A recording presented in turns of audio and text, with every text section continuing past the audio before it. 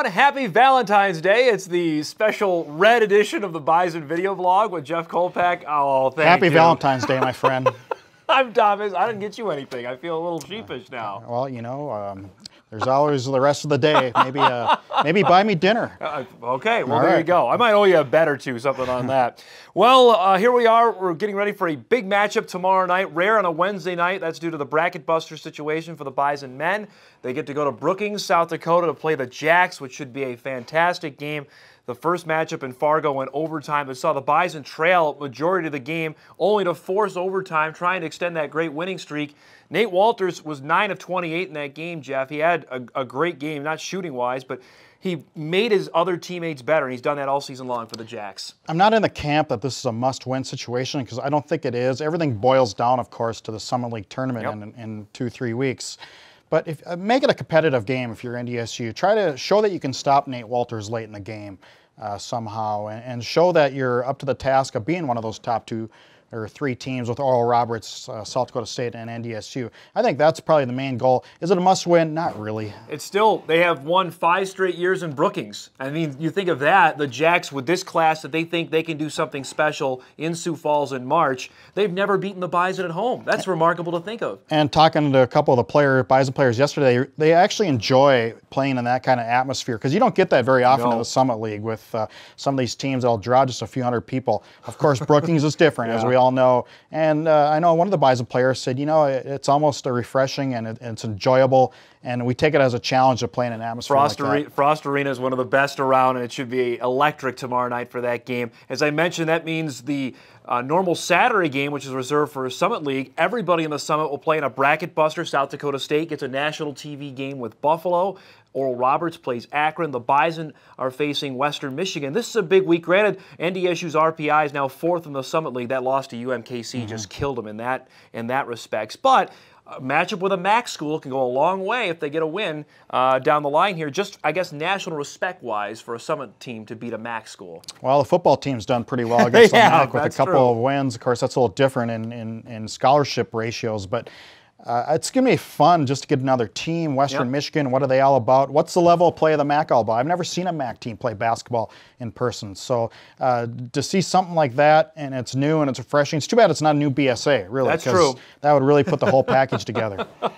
Let's, uh, you mentioned football, and Mm-hmm. uh, it's always 24 7, 365 days a year here in Fargo. Some interesting movings and shakings that happened over the past couple days. Scott Hazelton, the architect of that great Bison defense, as the defensive coordinator, now gone to USC to be the new linebackers coach. Craig Bohl almost instantaneously promotes Chris Klieman from defensive backs to the defensive coordinator. Your thoughts on the whole uh, story that has developed over the last couple days? when you see the connections, I think, with Hazelton and uh, connections with USC, with the Tampa 2, with Gus Bradley, with uh, Todd Wash, with Monte Kiffin, it all makes sense.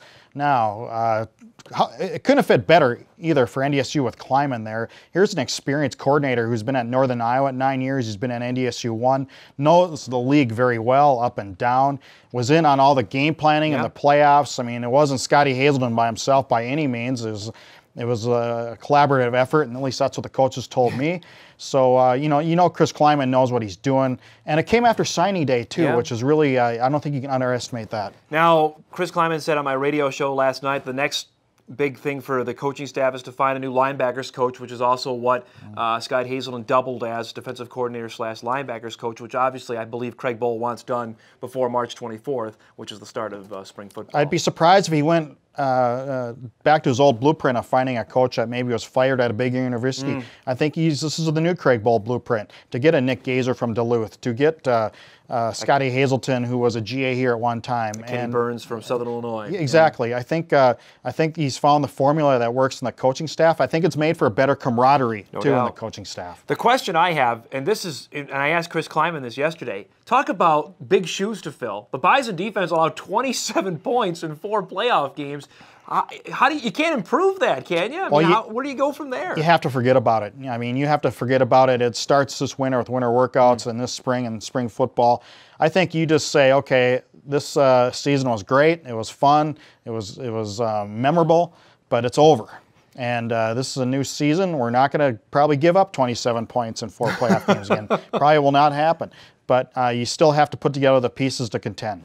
Look, your football ma- mindset there. Last year is last year. You sounded like a football coach. I should be a there. coach. Huh? I should be a linebackers coach. Well, there there you go. You've already asked for Craig Bohl to come on the blog, and now you're petitioning for a new job. Is that what you're telling me? I, I think the goal of this blog is to get Craig Bohl on the media blog. Come on, Craig. I think it's going to happen. I, I have a it's sense. Valentine's Day. Feel the love. I, I will say this: we're talking with Chris Klieman. They're losing four big guys, senior uh, leadership guys from Chad Wilson, Preston Evans, John Pike, Coulter Boyer. Those are going to be really hard. Guys. Granted, they have a ton of talent coming back, but that experience that they're losing is going to be tough to replace on the defense. and all side that's of the ball. got Solchinski to Yep. that mix as a leader, and uh, and I think we we've touched on it for quite some time now that you don't get that far without senior leaders, and and it was a young team, but it was a young team with some very effective older leaders.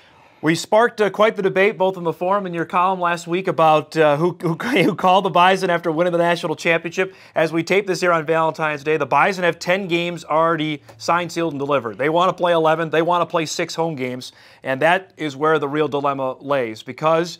When you win a national championship, it's going to raise the attention, obviously, of the program. And for the big boys, Oklahoma is called, Florida State has called, Pittsburgh, uh, Michigan State have all inquired about playing uh, the Bison. That obviously would be a road game for NDSU. Would be a second FBS opponent. I'm in the camp. You don't do it. No, I- unless you get an outrageous amount of money to go and play that game. I think you stay away from it. It's Valentine's Day. I'm also in your camp. I agree with that. I may have not agreed yesterday, but I agree today. No, no, I don't agree. I've never agreed with that, and, I'm interested to see how Northern Iowa runs its Yeah. Wisconsin, Iowa, Youngstown gamut. I just think that's too much. It's not worth it. It's all about the playoffs in the FCS, Correct. and it's not about really getting a big paycheck if you can uh, if you can all help it.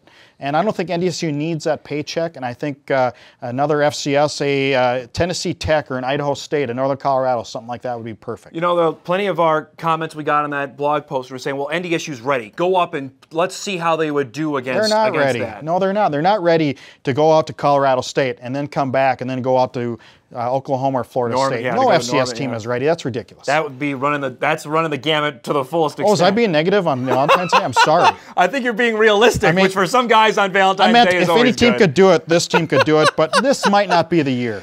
Do you imagine this any time down the line? And let's just let's go three or four years down the line to say, you know, Gene Taylor gets a call from a Florida State, a Michigan State, say, hey, you know what? Here's eight hundred thousand dollars. You want to play us? Why switch from your philosophy that won you a national title? Absolutely not.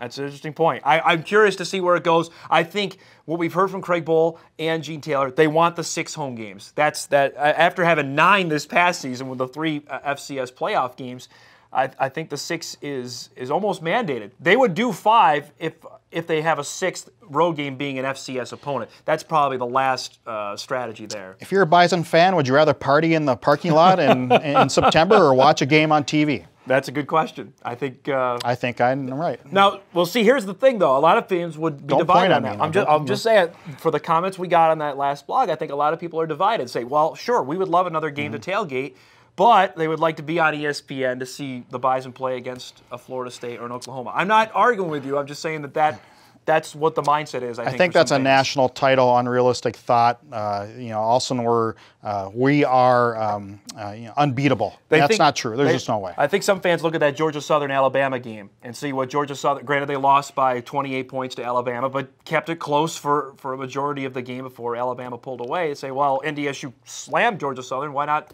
try that? That's the national champs. I go back. Well, I deviate from your philosophy that won you a national title. Stupid, stupid, stupid.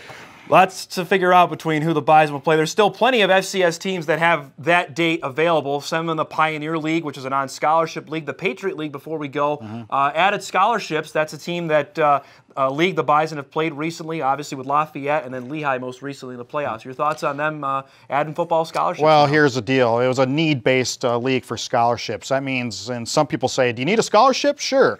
That's the popular theory. I don't think it's going to change that caliber a whole lot. Maybe a little much, but a little, little more. But uh, you know, they always they had some money to play with. It's not like everybody was paying a full ride. That Lehigh team made the FCS quarterfinals two straight years, Mm-hmm. though. Went to Northern Iowa and won, and, and obviously beat Towson last year before falling at North Dakota State. Big week in Bison hoops, both the Bison men and women hooking up with South Dakota State. Then the bracket buster game were the NDSU men on Saturday. We're back next week to recap it. Your Rose, sir, are you going to go select uh, someone there? I think I'll give this to my wife. I already stole it once, so For Jeff. Kolpack, I'm Dom Izzo, the latest edition of the Bison video blog.